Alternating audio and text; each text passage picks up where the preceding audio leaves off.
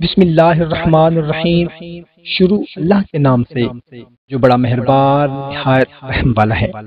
मोहतरम सामाइन कराम आज की वीडियो में आप लोगों को एक ऐसी दुआ के बारे में बताने लगा हूँ।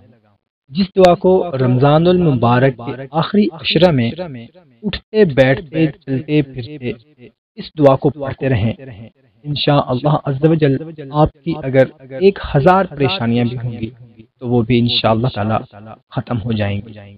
तो भाइयों और बहनों, आखिरी अशरा के हवाले से एक ऐसी दुआ जो पढ़ने में बहुत ही आसान है, लेकिन फजीलत व बरकत में बहुत ही ज़्यादा अफजल है।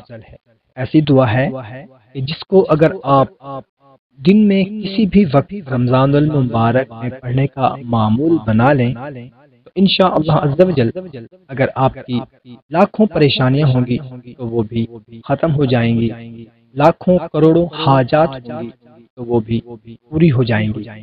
ये ऐसे कलमात हैं जो आपकी किस्मत, आपकी तकदीर को बदल कर रख देंगे। तो वो दुआ कौन सी है?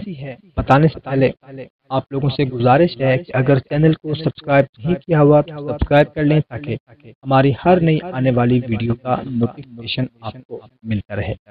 तो वो दुआ है हस्बी अल्लाह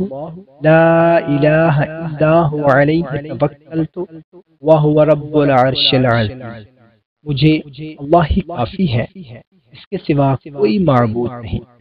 मैंने उस पर भरोसा किया और वही अर्श अजीम का मालिक मालिक।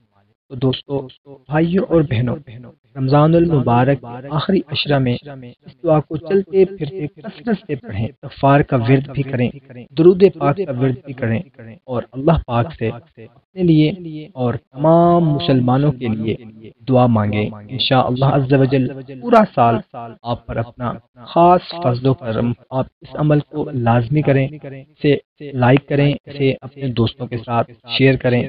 हमें इजाज़त। नई वीडियो में फिर मुलाकात होगी। अपना ख्याल रखना। अल्लाह हाफिज़।